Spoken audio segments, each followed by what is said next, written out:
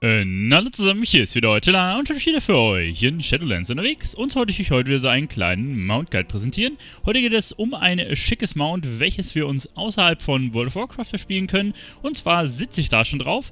Das Mount schimpft sich Sages Geschichte und ja, wie sich der ein oder andere bestimmt schon gedacht hat, ist das ein Mount, welches wir über Hearthstones bekommen. Wir haben hier auch schon das Hearthstone-Spielbrett mit dran. Und ja, ist auf jeden Fall ein ganz nettes Mount. Vor allem das Mount-Special, da gehen wir mal ein bisschen weiter weg, ist ein sehr cooles. Ihr seht, hier haben wir so ein paar Funken, das fliegt so ein bisschen in die Luft. Hat auf jeden Fall was. Ja, und wie wir das Mount uns erspielen können, will ich euch jetzt mal zeigen. Ihr könnt das Mount ab dem 12 ähm, 10.2021 euch holen. Ich kann euch noch nicht sagen, ob Blizzard das wieder irgendwann rausnimmt, deswegen macht es lieber früher als später. Und zwar über das Spiel Hearthstone. Hearthstone findet ihr einfach wenn ihr in euren äh, Battle.net Launcher geht. Und zwar haben wir hier oben einmal Hearthstone. Dann müsst ihr euch das Spiel erstmal installieren kleine Randinformation, das Spiel ist komplett gratis, also ihr müsst dafür nichts zahlen. Ihr könnt euch das einfach runterladen, wenn ihr den ähm, Battle.net Client an sich drauf habt.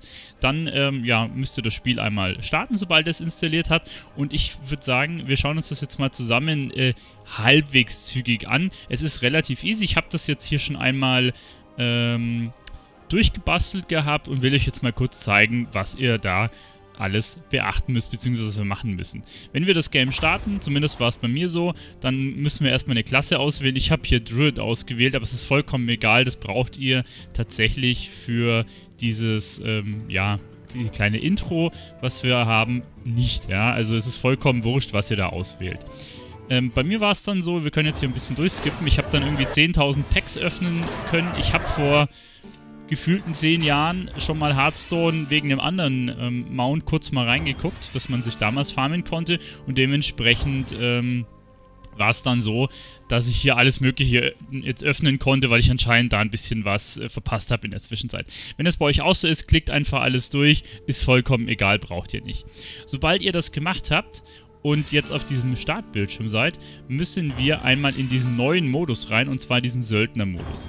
Der Söldner-Modus ist nämlich das, was wir einmal in Anführungszeichen kurz durchspielen müssen. Das Ganze soll irgendwie zwischen 10 und 20 Minuten dauern, also ich habe auch so um die 20 Minuten gebraucht. Ich bin da teilweise mit dem Klicken nicht ganz hin und her gekommen. Ihr seht hier unten ploppen die ganze Zeit irgendwelche Achievements auf, weil ich alle möglichen Packs erst aufmachen musste, bevor ich quasi jetzt hier weitermachen konnte.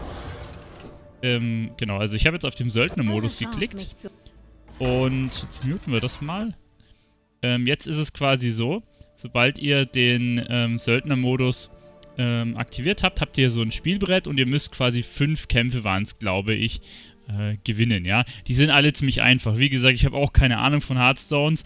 Diese Erklärung, die da am Anfang kommt, äh, bringt einem eigentlich schon so weit, dass man alle fünf Kämpfe ohne Probleme schaffen kann. Also ich glaube, man kann sie fast gar nicht nicht gewinnen, sagen wir es mal so. Genau, ihr müsst dann einfach unten immer auf Spielen klicken und dann gehen diese Kämpfe los. Das lädt immer erst ein bisschen. Dann habt ihr verschiedene Einheiten. Diese Einheiten sind am Anfang schon hier auf dem Deck geplaced. Die könnt ihr quasi anklicken, den Zauber auswählen, klickt den Feind an, macht das mit beiden Einheiten, drückt bereit und dann nochmal bereit. Irgendwie muss man es zweimal klicken.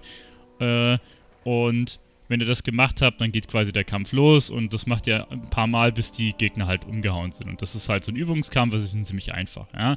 Und wenn ihr das geschafft habt, dann klickt ihr wieder so ein paar Belohnungen weg und macht halt den nächsten Kampf, ne? Bis ihr alle fünf Kämpfe fertig habt.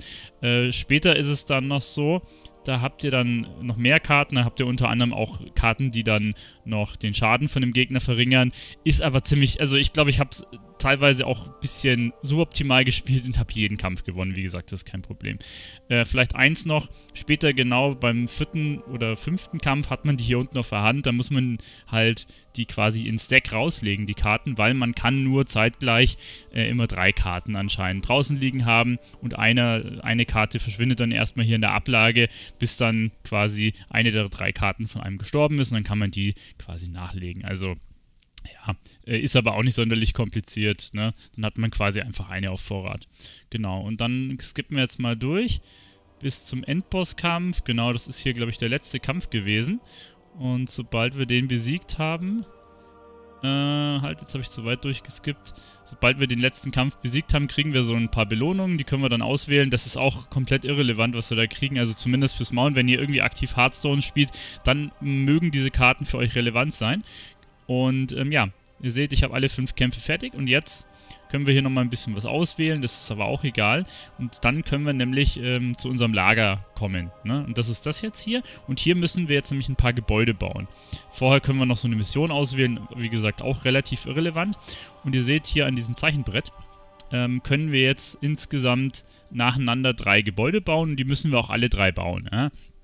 Und das ist einmal, als erstes müssen wir die Taverne oder hier im Deutschen das Gasthaus bauen, das einfach ähm, hinsetzen und ähm, dann können wir die quasi anklicken und dort was upgraden. Ja? Also wir haben dann einfach so eine Karte und diese können wir dann upgraden. Ich habe das am Anfang, ehrlich gesagt, äh, dauert das immer ein bisschen, bis diese Hinweise kommen. Ich habe dann teilweise Sachen nicht gecheckt. Bei einem habe ich sogar das Spiel zugemacht, wieder neu aufgemacht, weil ich nicht geblickt habe, wie ich wieder zurückkomme. Also, wenn es euch auch so geht, ihr seid nicht alleine, ja.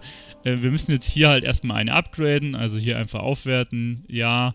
Und ähm, ja, dann gibt es wieder einen Haufen Effekte. Ich habe extra jetzt mal den Sound hier ausgemacht, weil das war bei mir irgendwie in den Voreinstellungen verdammt laut und schon ein bisschen nervig. Dann unten einfach auf Fertig klicken äh, und ich glaube, dann war es auf Zurück, oder? Aber da habe ich jetzt auch wieder erst nicht ganz gecheckt, wie ich hier aus dem, aus dem Menü rauskomme.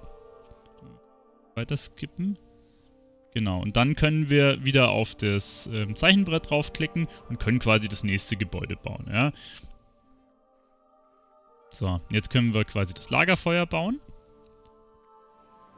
Wenn wir das gebaut haben, dann äh, können wir es quasi auch wieder anklicken, ja. Und hier hatte ich schon das Problem, ich habe das hier angeklickt und ähm, dann habe ich das ausgewählt und irgendwie ging das nicht weiter, ja. Ich habe hier alles mögliche rumgeklickt und ich bin nicht mehr zurückgekommen. Wahrscheinlich gibt es da irgendwo eine einfache Methode. Ich dachte, wenn ich hier auf Beenden klicke, dann komme ich aus dem Menü raus. Hat nicht funktioniert. Ich habe dann das Game zugemacht und neu aufgemacht. Wahrscheinlich hätte es eine einfache Methode gegeben. Und ähm, dann bin ich einfach hier wieder auf das letzte Ding draufgegangen, wieder auf den Zeichentisch, habe das dritte Gebäude gebaut. Das ist dieser ähm, Travelpfad, heißt es im Englischen, beziehungsweise auf Deutsch irgendwas, wahrscheinlich mit Reisepfad oder sowas. Und ähm, das ist das letzte Gebäude, was wir bauen müssen. Das können wir dann auch gleich wieder anklicken. Und hier müssen wir quasi so eine, ähm, ja, so eine kleine Gruppe auswählen, die wir dann losschicken können. Ja, also hier die Tusse erzählt uns einiges. Jetzt habe ich einen Ticken zu weit geskippt. Genau, also wir gehen dann auf das Gebäude. Ähm, gehen wir nochmal zurück. Ach ja, genau, ich habe hier was gekriegt. Genau, jetzt aufs Gebäude drauf. Und ähm, dann müssen wir nämlich einen Punkt auswählen, den wir angreifen. Hier einfach das Brachland auswählen. Und dann können wir unten auf Wählen gehen. Dann müssen wir hier die Stufe 4 auswählen. Dann können wir nochmal auf Wählen klicken. Und ähm, ja. Jetzt müssen wir quasi so eine Söldnerarmee zusammenbasteln. Und ähm, da habe ich wie wild rumgeklickt sage ich euch ganz ehrlich. Ich habe dann ein bisschen was hergestellt. Und ich habe es einfach äh, ums Verrecken, ich glaube, über ein, zwei Minuten nicht geschafft, dass das Ding hier weitergeht. Ich wollte einfach nur das äh, fertig machen. Du kannst hier unten nämlich herstellen klicken und dann kannst du diese Dinge anscheinend immer bauen. Ne? Du brauchst halt ein paar Söldnertruppen, dass du da weiterkommst.